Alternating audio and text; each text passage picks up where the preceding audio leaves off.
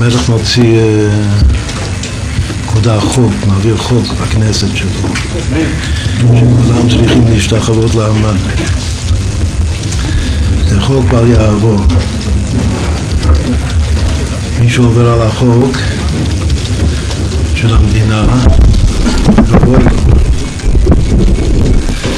והנה יושב שם מרדכי אחד, של המלך, עובר בריש גלי, הוא עובר על החוק. ומרדכי לא יכרע ולא ישתחווה. אפשר לומר שכאשר אה, המן עבר לפניו וכולם משתחווים ביראת כבוד לפני המן אז מרדכי אולי אפשר לחשוב שהוא כבש את פניו בקרקע עשה את עצמו מתעלם כאילו שהוא לא רואה את המן עובר.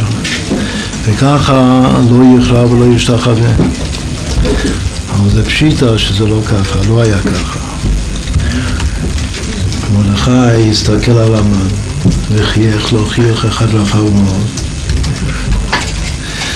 ברוב הנאה, ברוב כיף, ולא יכרע ולא ישתחווה, ככה זה היה. זה. מי שחושב אחרת הוא מפספס את העיקר.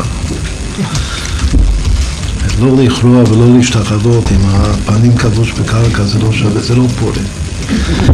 זה לא שווה כלום. זה לא יכרע, ומרדכי לא יכרע ולא ישתחווה למנוע הנאה מהדבר הזה, שהוא לא קורע ולא משתחווה לאמן הרשע. שהוא עושה את עצמו אבי לזורו.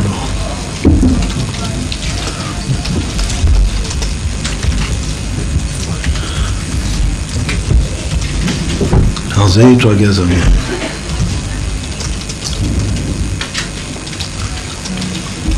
כמו שנסביר, פורים זה חג של הנאה. לכן גם המסירות נפש של פורים, שבזכות זה זכינו ונהפוך, אשר ישלטו היהודים המה לשונאיהם.